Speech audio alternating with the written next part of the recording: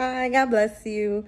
My name is Nisi, and I'm here with a word from God. God has urged my spirit to speak out on the importance of us living a repentant life and just turning away from sin. There is a time, there is a rapture that is to come, and it is coming sooner than we think. The time is amongst us. The Lord says he will come like a thief in the night.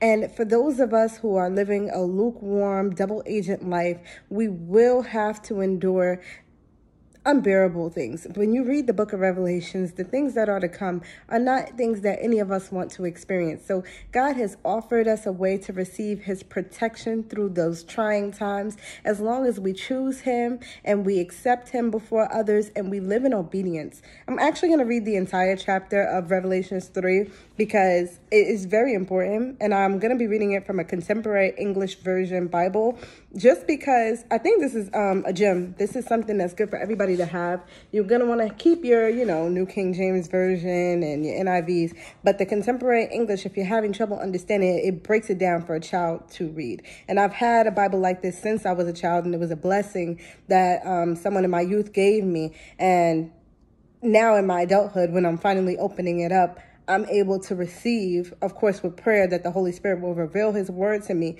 the truth about what is to come and, and what is going on in this world that we see so much craziness going on. So, no further. Hold on.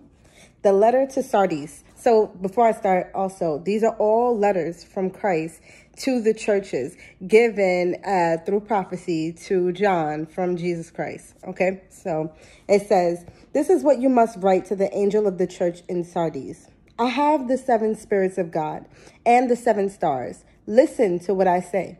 I know what you are doing. Everyone may think you are alive, but you are dead. Wake up. You have only a little strength left and it's almost gone. So try to become stronger. I have found that you are not completely obeying God. Remember the teachings that you were given and that you heard. Hold firmly to it and turn from your sins.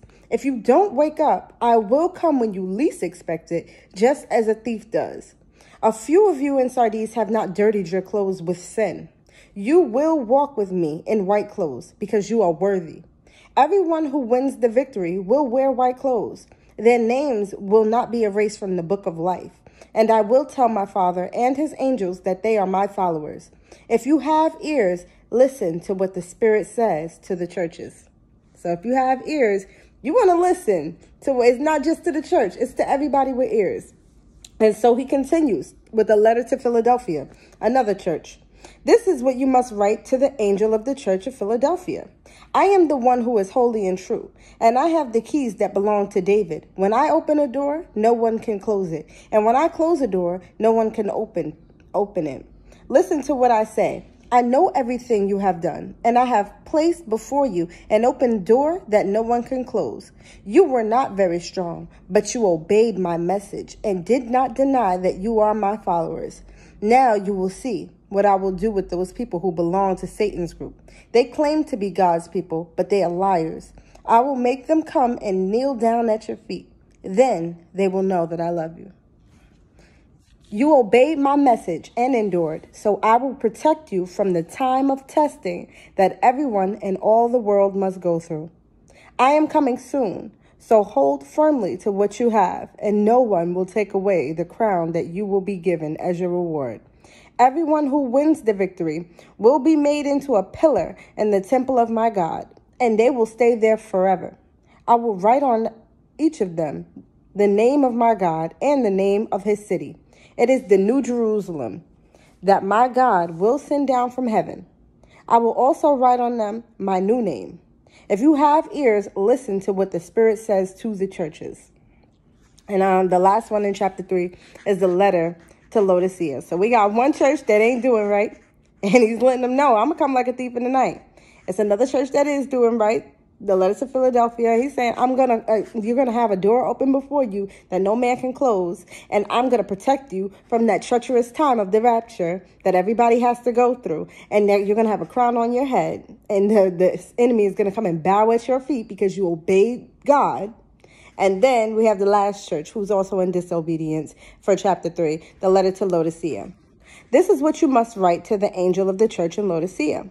I am the one called Amen. I am the faithful and true witness and the source of God's creation. Listen to what I say. I know everything you have done, and you are not cold or hot. I wish you were either one or the other. But since you are lukewarm and neither cold or hot, I will spit you out of my mouth. You claim to be rich and successful and to have everything you need, but you don't know how bad off you are. You are pitiful, poor, blind, and naked. Buy your gold from me. It has been refined in fire, and it will make you rich. Buy white clothes from me. Wear them, and you can cover up your shameful nakedness. Buy, buy medicine for your eyes, so that you will be able to see. I correct and punish everyone I love. So make up your minds to turn away from your sins. Listen, I am standing and knocking at your door. If you hear my voice and open the door, I will come in and we will eat together.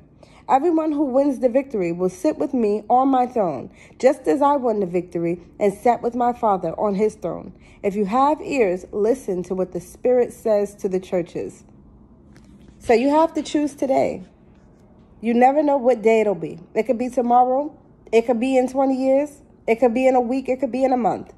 It's not worth it for when he comes in the thief of the night to get the letter that he had to Sardis or the letter that he had to Laodicea.